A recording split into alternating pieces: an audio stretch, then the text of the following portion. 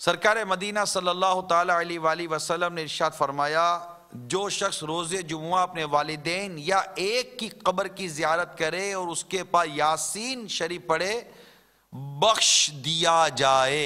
आजकल इल्म दीन से जो दूरी का एक मामला है तो लोग दीगर इबादत की तरह खुतबा सुनने जैसी अजीम इबादत में भी गलतियाँ कर रहे होते हैं। और इस सिलसिले में कई गुनाह का इनसे इरतिकाब हो जाता है, गुनाह कर गुजरते हैं। जुमातुल मुबारक के खुतबे के हवाले से चंद बदनी फूल अर्ज़ करता हूँ। जय किस्मत के हमारे खतीब इस्लामी भाई कोई भी, मिंबर पर जलवा फरमा होने से पहले ये ऐलान भी कर दे तो क्या बात है मदीने की। लेकिन इस वक्त जितने भी आशिका ने रसूल सुन रहे हैं, वो तवज्जो फरमाए। हदीस पाक में है, जिसने जुमा के रोज लोगों की गर्दनें फलांगी, उसने जहन्नम की तरफ़ पुल बनाया।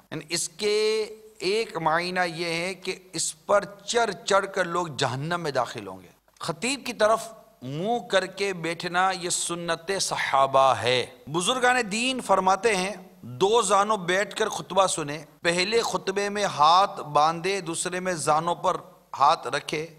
तो इनशा अल्लाह वजल दो रकत का सवाब मिलेगा। आला हज़रत इमाम अहमद रजा खान रहमतुल्हन्नान फरमाते, खुतबे में हुजूर अक़दस सल्लल्लाहु अलैहि वसल्लम का नाम पाक सुनकर दिल में दुरूद पढ़ें कि ज़बान से सुकूत यानी खामोशी फ़र्ज़ है। दुर्र मुख्तार में खुतबे में खाना, पीना, कलाम करना, अगरचे सुबहान अल्लाह कहना, सलाम का जवाब देना या नेकी की बात बताना हराम है।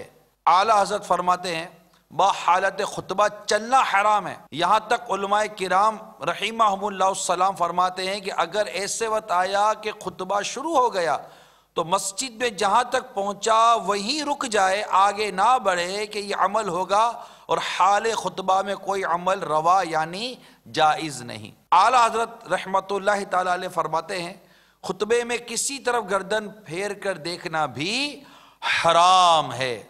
सल्लु अल हबीब, सल्लल्लाहु ताला मोहम्मद। ये मसाजिद की जो कमेटी और ज़िम्मेदार होते हैं, जिनको, जिनकी चलती है, अगर वो इमाम या ख़तीब साहब से अर्ज़ करेंगे या अगर ऐसे हमारे इमाम व ख़तीब हजरात सुन रहे हों तो मदनी इल्तिजा है कि अमीर सुन्नत का रिसाला फैज़ान जुमुआ। इसके, इसमें ये खतबे के ये फैज़ान जुमा रिसाला आप मस्किन पर देख सकते हैं। इसी रिसाले में अल्हम्दुलिल्लाह ये खुतबे के सात मदनी पुल लिखे हुए हैं।